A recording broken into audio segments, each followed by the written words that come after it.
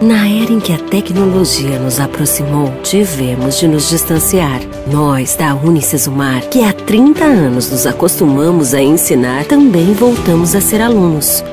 Aprendemos que o conhecimento pode salvar e por isso fazemos nossa parte para que ele chegue o mais longe possível. Aprendemos que pequenos gestos têm grandes impactos, que o futuro está em constante movimento e em poucos instantes tudo se transforma. Aprendemos que novas lições sempre trazem consigo novas práticas e alguns dos mais preciosos são resultados dos grandes desafios que superamos juntos. Logo, vamos descobrir o quanto aprendemos durante esse tempo. Afinal, a vida é feita de aprendizados. As lições mais importantes são compaixão, empatia e união. Quando a tempestade passar e o sol sair, a gente vai poder se abraçar de novo e compartilhar os aprendizados que só os grandes desafios produzem. A Unicesumar deseja a todos um tempo de amor, fé e esperança. Nos vemos em breve. Unicesumar faz da vida um aprendizado.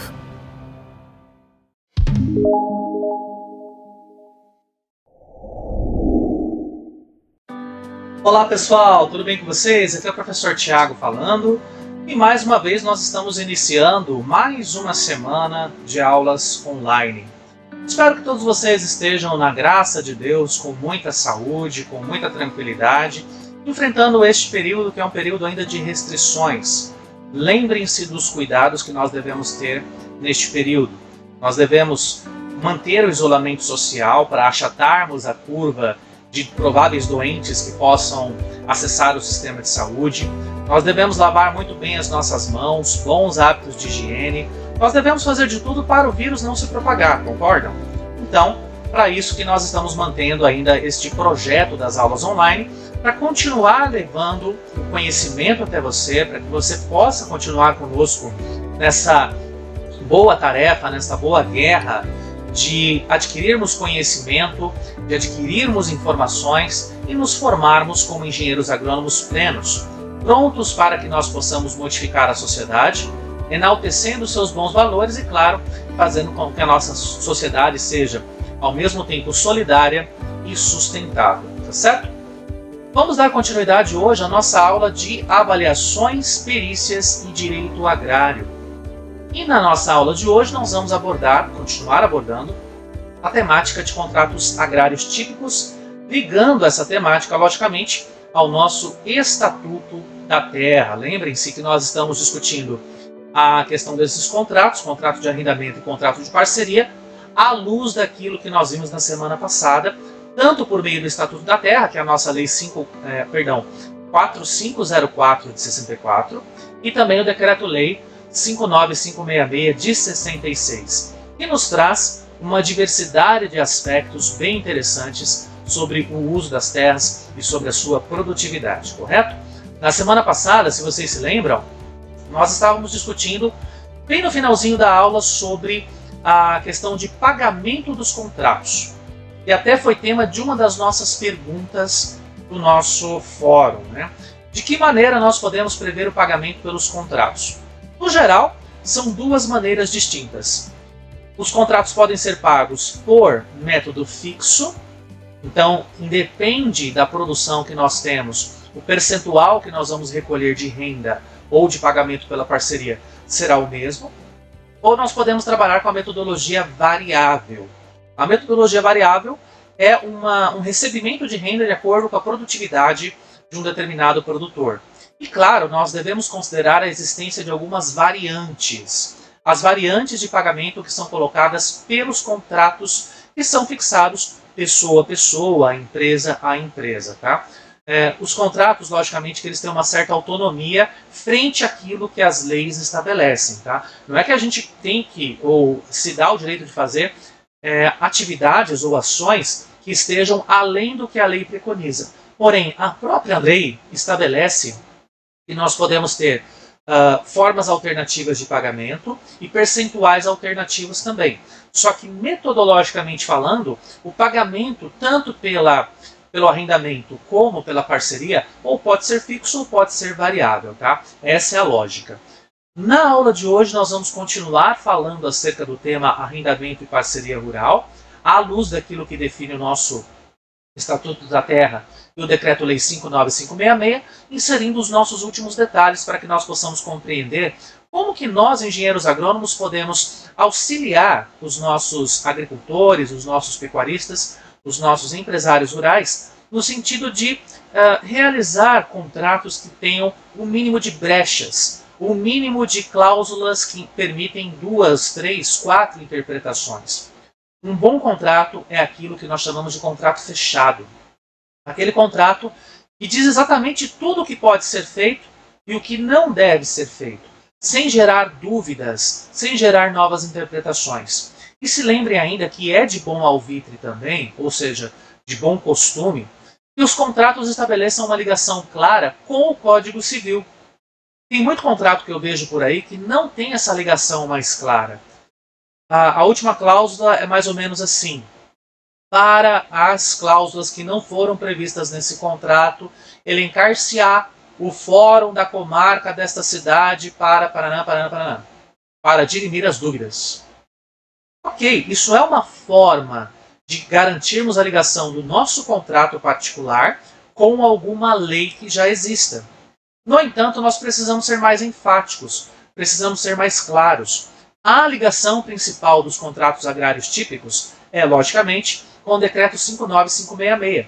No entanto, nós devemos fazer a ligação também com o Código Civil, que é a Lei 10.406 de 2002, uma lei federal. Lá nós temos todo o conjunto de cláusulas, todo o conjunto de parágrafos, todos os assuntos que são pertinentes à alienação de bens. Inclusive, Várias questões que não estão previstas nos decretos e leis anteriores estão previstos no Código Civil. Por isso que é tão interessante que nós façamos essa ligação bem clara entre o nosso contrato e o Código Civil, tá bem? Vamos dar continuidade então à nossa aula de hoje e vamos falar sobre as provas nos contratos agrários. Tem muitos estudantes que me perguntam, professor, mas se eu estou lidando com um contrato agrário típico e de repente eu percebo que tem uma determinada cena que um dos atores desse contrato não cumpre exatamente aquilo que está sendo previsto no contrato, como por exemplo aquele, aquela situação da indústria sucroalcooleira, né? Chega ao sétimo ano de corte, no contrato de arrendamento não está previsto o impedimento da oitava safra, então a indústria de cana se coloca no direito, se utilizando de um dos artigos do próprio uh, da própria Estatuto da Terra, do próprio Decreto 59566, de que ela pode continuar o seu plantio uma vez que a safra não foi ultimada. Isso pode acontecer. E acontece. Bom, é, se houve a ação de má fé, como é que eu posso então é, fazer com que as pessoas acreditem que eu estou certo? até mesmo para um juiz, né, na hora que ele julgar o mérito desta causa. Nós podemos, então, materializar as provas por meio daquilo que nós chamamos de prova testemunhal. O que é uma prova testemunhal? Nada mais é do que um testemunho oficialmente coletado. E quando eu falo oficialmente coletado, ou ele vai ser coletado por alguém que é representante do Poder Judiciário, ou ele pode ser coletado também pela ação pericial, eu, como perito, por exemplo, engenheiro agrônomo, eu posso me utilizar dessa ferramenta de coleta de testemunho para comprovar, para materializar uma situação errada que se encontra acontecendo, para que eu possa provar que há ação de má fé por uma das partes do contrato. Agora, como que eu posso fazer isso? Ah, antes disso, a base legal, né? Vocês estão vendo que a base legal desse processo é o artigo 92, parágrafo 8 do Estatuto da Terra, e também o artigo 14 do decreto 59566, correto? Pois bem, como é que eu posso então estabelecer essa comprovação?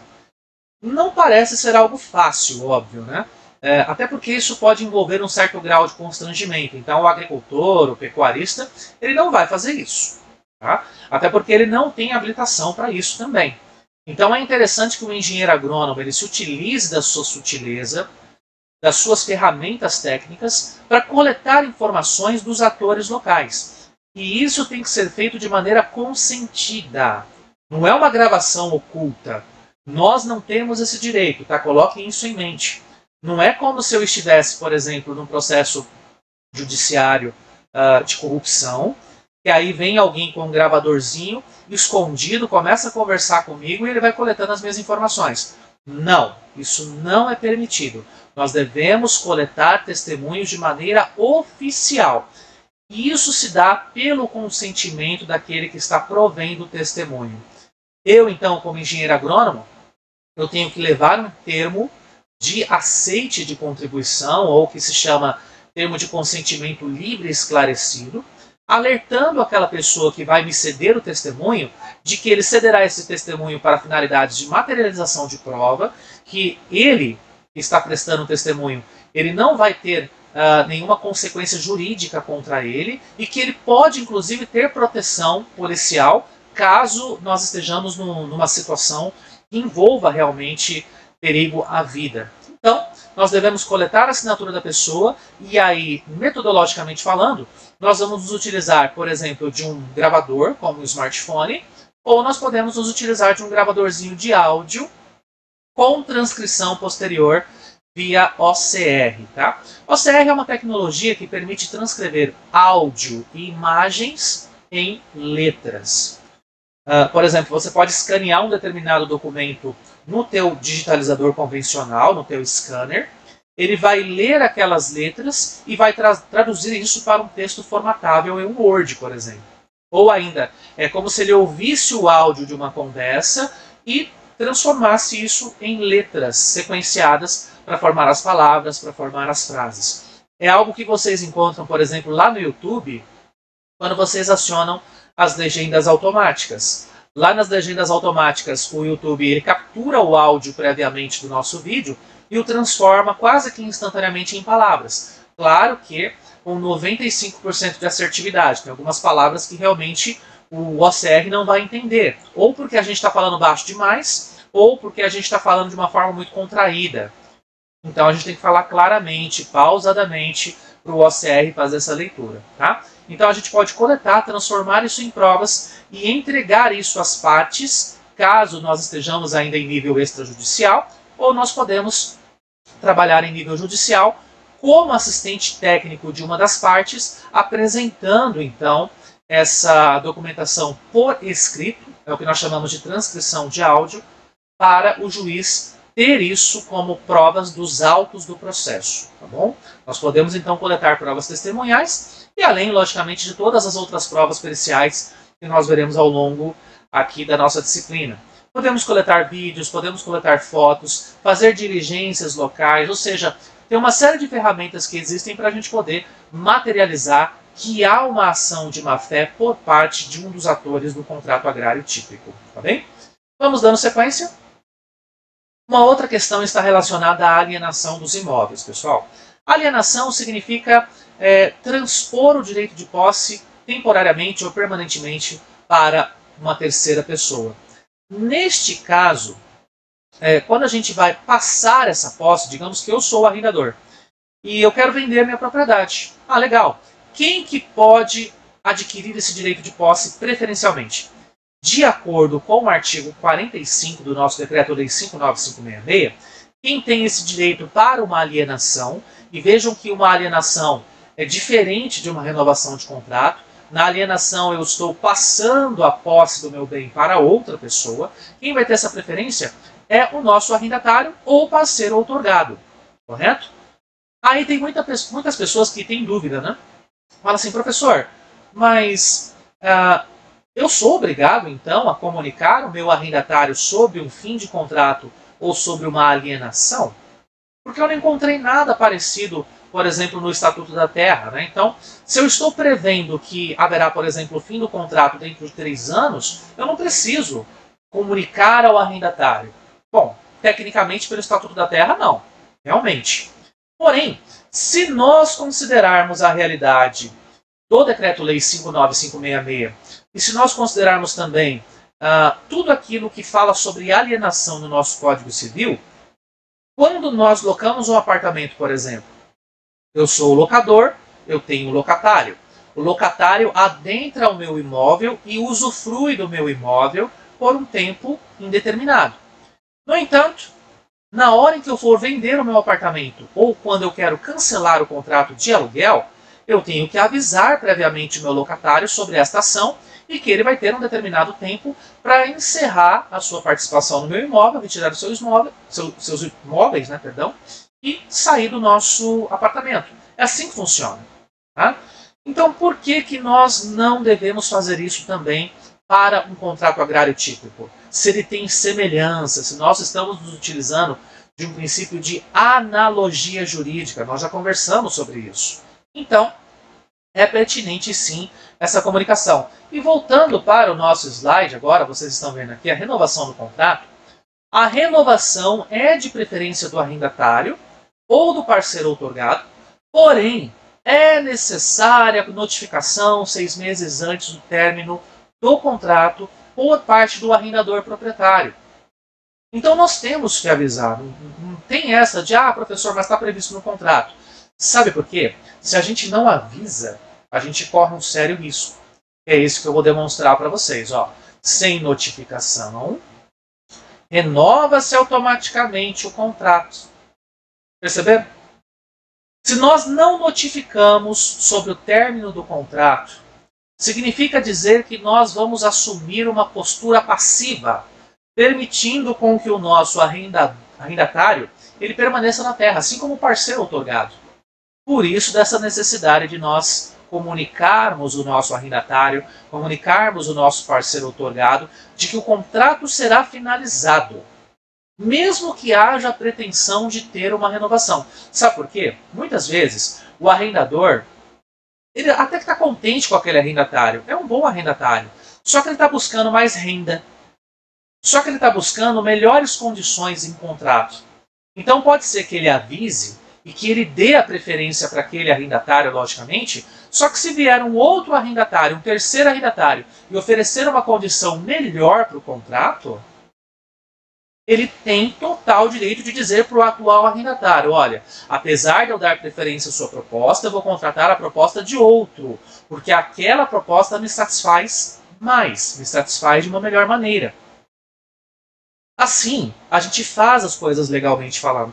Imagina, se acontecer um caso onde no contrato, logicamente, está explícito o final do, do, do término, né? ou, ou melhor, o final das atividades, o término das atividades Beleza, está comunicado no contrato, mas não houve a comunicação formal nesses seis meses antes do, do final do contrato. O que pode acontecer? Ah, se o arrendador for colocar o novo arrendatário, o atual arrendatário ele pode entrar com uma ação judicial de retomada de direitos de alienação.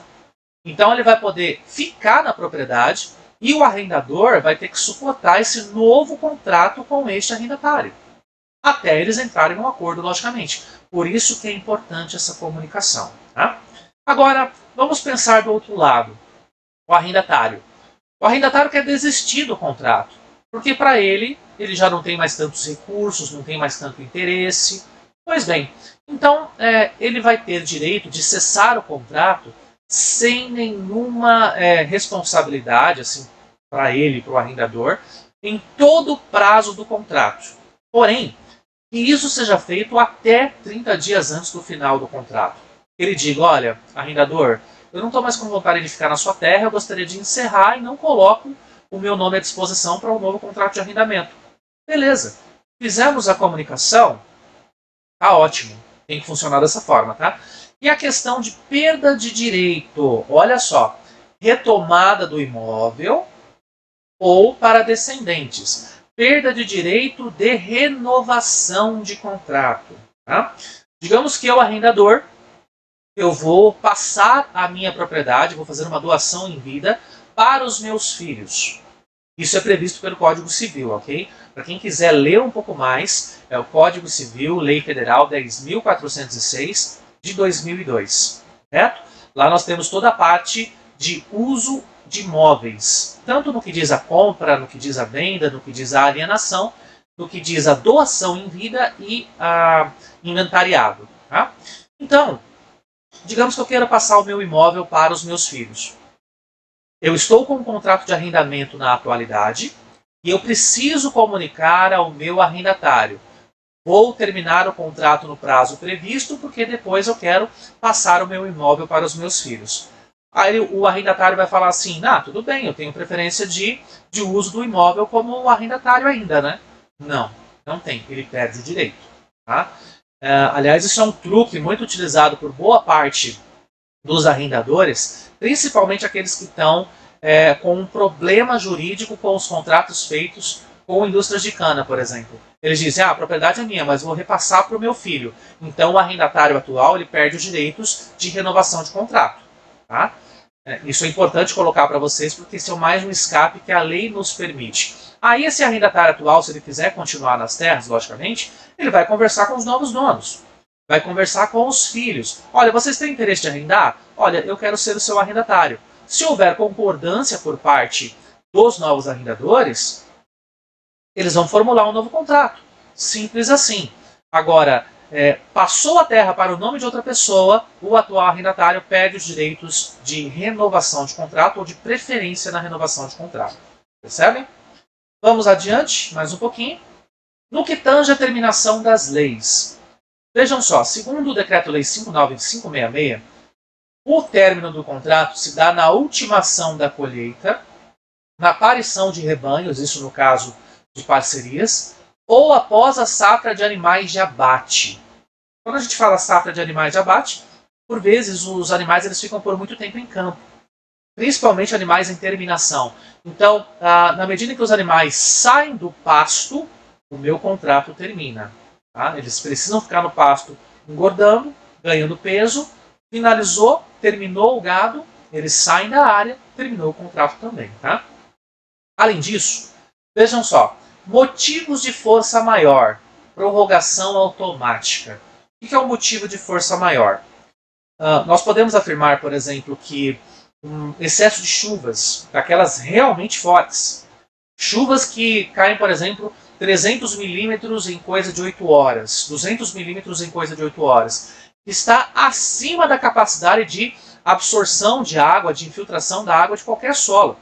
Então nós vamos ter escorrimento superficial, a depender do tipo de solo, se nós estivermos falando sobre o arenito caiuá, certamente nós teremos abertura de valetas, de sulcos, ravinas, até chegar no extremo da bossoroca e abertura uh, dessa área até o lençol freático, que foi um caso muito comum que aconteceu lá no ano de 2016. Pois bem, é um motivo de força maior. Legal. Perdemos a área totalmente? Não, não perdemos. No entanto, a área que estava sob arrendamento, como ela sofreu essa situação de força maior, é, não tem nem como o arrendador falar assim, poxa, tenho, tenho que terminar o contrato com você. Até porque o, o arrendatário não tem culpa disso. Outra situação, é, o arrendatário morre. Há uma transmissão de direitos de arrendamento para os filhos do arrendatário. Eles podem continuar se quiser, por prorrogação automática. Então, sempre que acontece alguma coisa de força maior, entendam, força maior é aquilo que se encontra acima daquilo que o ser humano pode controlar, tá certo? Se acontece isso, os contratos são prorrogados automaticamente. Mas como se fosse uma medida de anistia às obrigações contratuais, que é algo que nós estamos vendo acontecer na atualidade por conta da Covid-19, né? Bancos, entre aspas, anistiando as dívidas dos devedores por 60 dias, prefeituras não cobrando o ISS por 90 dias, o IPTU por 90 dias. Então, em casos de força maior, há esse impedimento de cobranças contratuais. Isso para a situação aqui da terminação de contratos de arrendamento rural, tá? Parceria também. E motivos propositais, aqui é quando realmente eu tenho que terminar o contrato, é quando nós temos uh, ou um acerto de adicional ou uma ação de despejo. Aqui no caso daquela empresa sucroalcooleira ou daquele arrendatário que se utiliza da terra demasiadamente e não quer sair de lá nem que a vaca tussa. Tá? É nesse sentido que nós afirmamos. Pois bem, uh, quando a gente tem ali a questão dos motivos propositais, acerto de adicional. É, quando o arrendatário ele briga com o arrendador, que é uma cena que nós vemos por aí, é, não é algo muito incomum não, tá?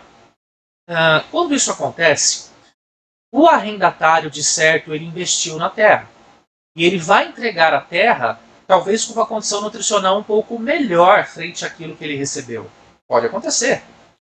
Em cima disso, o arrendador ele se obriga a pagar todos os investimentos que foram feitos por parte do arrendatário e que melhoraram as características das terras. Da mesma forma, se por acaso o arrendador percebe que o arrendatário ele não conserva os seus solos, ele está estragando os solos, ele vai entregar os solos de uma maneira não muito adequada. Isso do ponto de vista de fertilidade, do ponto de vista de conservação também, tá? O arrendador ele pode cobrar uma indenização para o arrendatário, né, para que o arrendatário pague, é, no sentido de recuperar financeiramente aquilo que ele vai ter que gastar no futuro para deixar a terra ok. Como ele não respeitou, no caso o arrendatário, né? Como ele não respeitou uma das cláusulas protetivas, então a ele cabe o pagamento indenizatório, tá certo?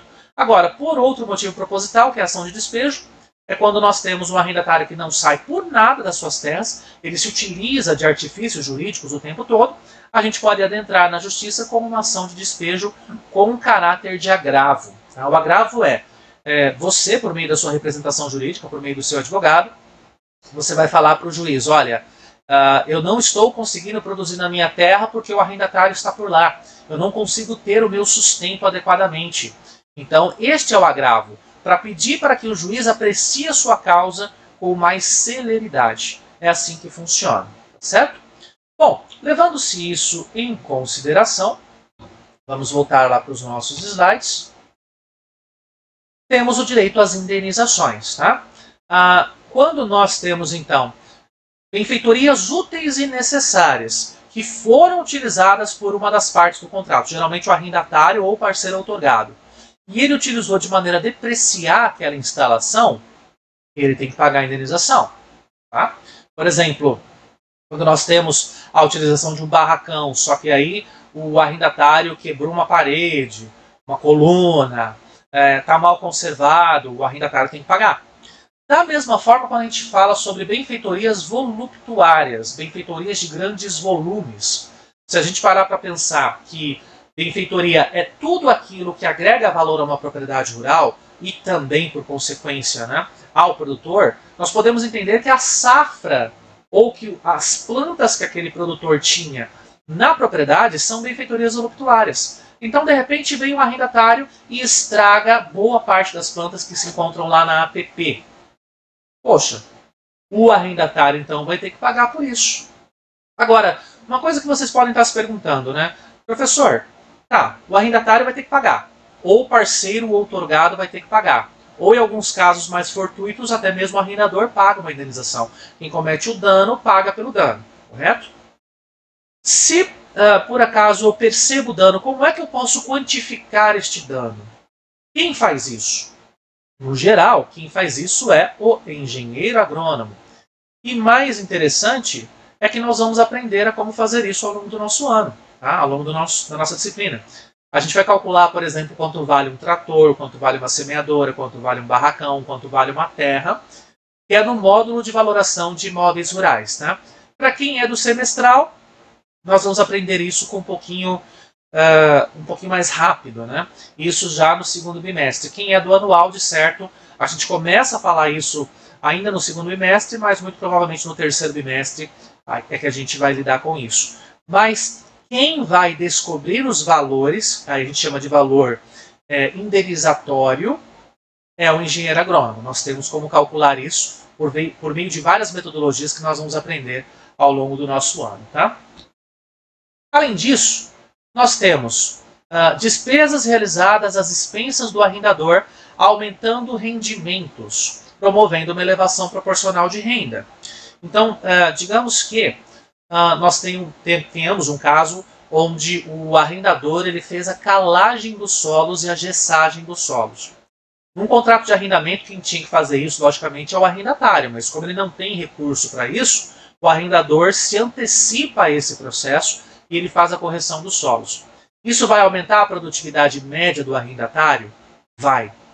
Então, além da renda média, o arrendatário ele pode pagar, não estou dizendo que ele deve, mas se o arrendador requerer isso, ele pode pagar uma indenização proporcional à elevação da produtividade. Por exemplo, é, eu teria a percepção de produtividade por volta de 3 mil quilos de soja por hectare. Se eu fiz a correta calagem e se eu fiz a correta gessagem, a minha produtividade se eleva em 400 quilos por hectare. Então, a gente vai ter um adicional indenizatório em cima desse, dessa produção a mais, em cima desses 400 quilos. Isso pode ser previsto também por contrato. Tá? E, por fim, a possibilidade de retenção do imóvel como penalidade.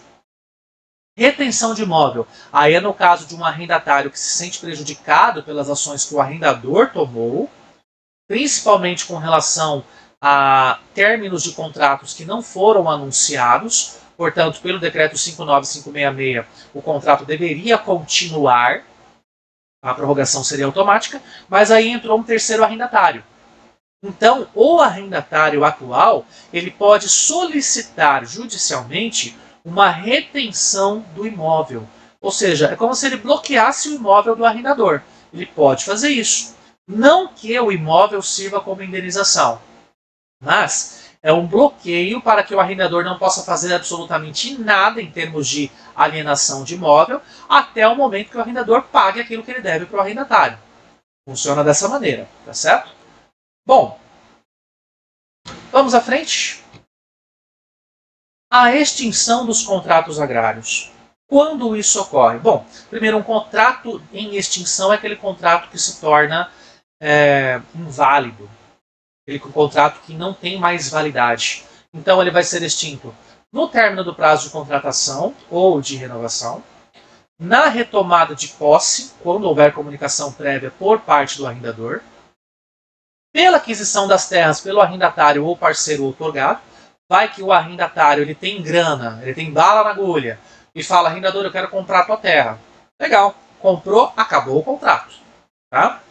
Rescisão contratual comunicado anteriormente pelas partes, 30 dias pelo menos, e por motivos de força maior que impossibilitem a execução do contrato.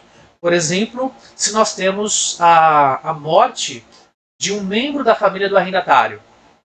Poxa, ele se sente tão abalado que ele não quer continuar, que todos os recursos que ele tinha vão ser recursos direcionados para o sustento da sua família numa terra menor. Então ele pode sim ser considerado como motivo de força maior, ou ainda naqueles casos de vossorocas, naqueles casos de incêndios, onde a terra se torna improdutiva de uma hora para outra. O arrendatário pode cancelar o contrato sem ônus para nenhuma das partes, principalmente para ele. Tá? Contratos nulos. Um contrato nulo é diferente de um contrato extinto. Tá? Quando nós falamos em extinção de contrato, significa dizer que todos os dispositivos do contrato tiveram pelo menos uma oportunidade de serem executados. Na nulidade, a nulidade significa assim: uh, houve um abuso de, de, de, autoridade por parte de uma das, das partes do contrato, ou pelo arrendador ou pelo arrendatário. Vejam só, a nulidade pode ser absoluta, somente se houver diminuição ou eliminação de direitos e vantagens do arrendatário ou parceiro otorgado. No meio do caminho, o arrendador fala assim: Olha, eu quero que você pague 80% daquilo que você produz. Pô, mas peraí, exagero é esse, né? Você quer que eu pague 80%, quer dizer que eu vou ficar pobre? Então aí nós podemos pedir a nulidade do contrato. E a nulidade é um caminho mais adequado, porque quando a gente extingue o contrato, na extinção do contrato pode ser que nós tenhamos ainda direitos pecuniários a cumprir. Ou seja, ah, mesmo com a finalização do contrato, pode ser que eu tenha que pagar uma indenização para o arrendador, por exemplo. No contrato nulo, não. O contrato nulo significa dizer que ele vai ser nulo desde o princípio. Então, nenhuma cobrança, nenhuma obrigação deve ser cumprida pelas partes pela nulidade do contrato. Agora, quando a gente percebe aqui, ó, a lei não preconiza o nulo pelo nulo, não quer dizer que uh, o simples fato de você anular um contrato, a justificativa de anulação tem que ser muito forte. Não é simplesmente alguém alegar que um, um determinado ponto, uma determinada cláusula é nula para anular todo o contrato. Uma determinada cláusula que diz assim: o arrendatário deve entregar as terras escarificadas, subsoladas, caladas, gessadas. Pô, mas pera lá. A gente não sabe se lá na frente a terra vai estar tão degradada assim para a gente poder fazer esses consertos, esse manejo. Se eu estou obrigando o arrendatário a fazer isso, apenas uma cláusula está errada. apenas uma cláusula pode ser anulada, e não o contrato inteiro. Então a gente não pode alegar simplesmente, ó, oh, vamos anular o contrato uh, porque tem uma cláusula que não está bacana, tem uma cláusula que é ilegal. Negativo. O contrato inteiro tem que ter um teor de nulidade para que ele seja considerado como nulo e não apenas uma cláusula, tá bom? Importante, casos de venda de terras arrendadas, tá? No caso da venda das terras arrendadas, entra aquela premissa que eu havia comentado com vocês anteriormente, que é a premissa é, do atual arrendador comunicar o arrendatário acerca dessa venda e na venda o novo dono da terra ele não tem a necessidade de gerar a preferência para uma renovação de um contrato. Tá bom? Isso ficou bem claro naquilo que nós já afirmamos anteriormente. Contratos que prevejam pagamento do trabalhador, parte em dinheiro e parte em percentual da lavoura cultivada ou em gado tratado. Isso aqui é mais de acordo com os contratos de parceria. Aí o que rege é o artigo 96, parágrafo 4 lá da Lei 11.443 de 2007. E por fim, o pagamento do ITR nas terras arrendadas. O pagamento do ITR ele pode ser de comum acordo entre os produtores, o arrendador e o arrendatário, ou o parceiro e o parceiro otorgado, ou dominante e dominado, como queiram. Né? No entanto, no geral, quem paga por isso tem que ser o arrendatário, uma vez que é ele que está gerando a produtividade nas terras. Tá? O arrendador ele também se exime desse direito, mas volto a dizer, muitas vezes os contratos também estabelecem que o arrendador é que faz o pagamento do ITR. Depende muito, então, da situação, mas no geral, pelo que preconiza a lei, principalmente o Estatuto da Terra, nós temos alíquotas progressivas. Quanto mais improdutiva, menor é a alíquota, e quanto mais produtiva, maior é a alíquota, quem está produzindo é o arrendatário. Então, ele que paga o ITR. Tá? Nós devemos também diferenciar o que é o arrendamento o que é uma parceria, acho que ficou claro esse conceito para vocês, do comodato. O comodato é uma cessão parcial de um bem específico. É um contrato, por exemplo. Eu faço um contrato de arrendamento. As minhas terras estão ali cedidas para o arrendatário. Só que o arrendatário ele percebe que vai precisar de um barracão para guardar suas ferramentas. Então, posteriormente, o arrendador ele pode gerar um aditivo no contrato de arrendamento ou ele pode criar um contrato à parte de comodato muito mais parecido com o contrato de aluguel, dizendo que ele vai ter direito ao usufruto daquele barracão, de todas as suas benesses, pelo tempo de duração do contrato de arrendamento e que deve entregar essa benfeitoria dentro das melhores condições possíveis de uso. Tá?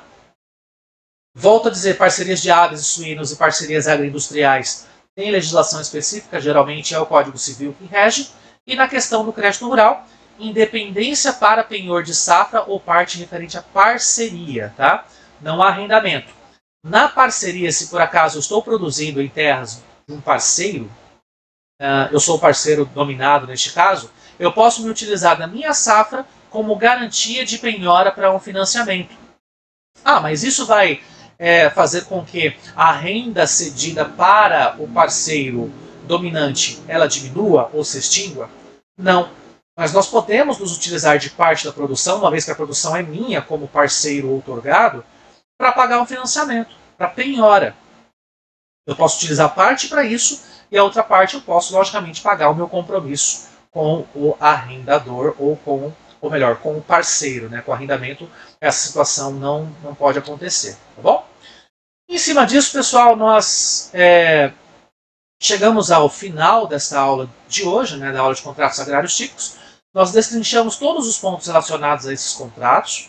Nós vamos fazer uma dinâmica sobre uh, o contrato perfeito agora, um contrato sem brechas. Eu gostaria que vocês analisassem certinho as demandas do fórum, vocês vissem o que está sendo pedido, interpretassem aquilo e que me entregassem essa demanda dentro das 24 horas que o nosso fórum fica aberto. O fórum ele se abre no princípio da nossa aula e fecha 24 horas depois, tá certo? Com isso, espero que vocês tenham compreendido, espero que vocês tenham aprendido as lições de mais uma aula sobre contratos agrários típicos e, logicamente, se vocês tiverem dúvidas, nós estaremos à disposição no fórum ou nas demais ferramentas de comunicação que a Unicesumar disponibiliza, tá certo? No mais, um forte abraço para você, muito obrigado pela sua audiência, muito obrigado pela sua presença e nos vemos na nossa próxima aula de avaliações, perícias e direito agrário. Tchau, tchau!